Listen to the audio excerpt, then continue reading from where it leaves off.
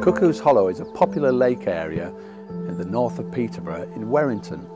It's home to an array of wildlife including birds, bats, fish and amphibians.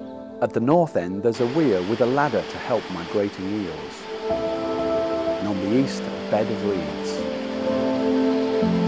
At the south end we've got a beautifully painted mural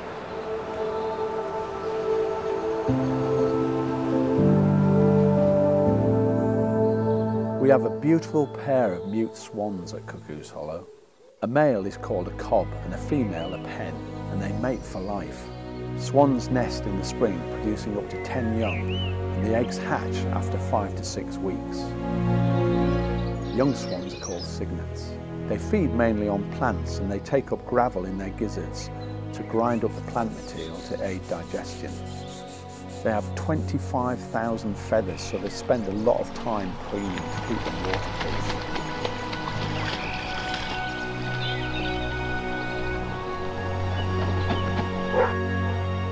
There are several mallard ducks at the lake. Males, called drakes, have green head, and the female, the hen, are mottled brown. They can hatch up to 12 ducklings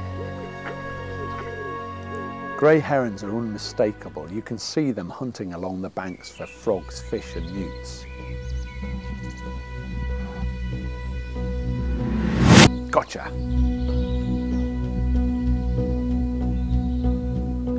The lake's also frequented by a variety of water birds, including the black-headed gull.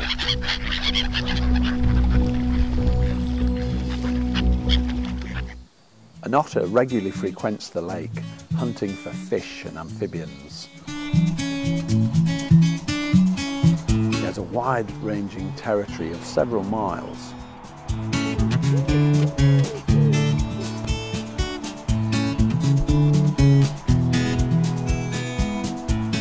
The good news is that conservation measures are leading to increases in the otter numbers across the country. Lucky, you might see him.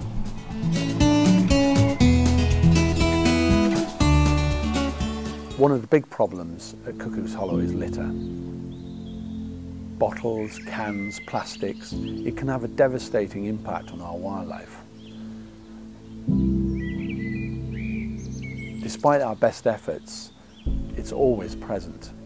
Please take your litter home or you can come and help us with a litter pick.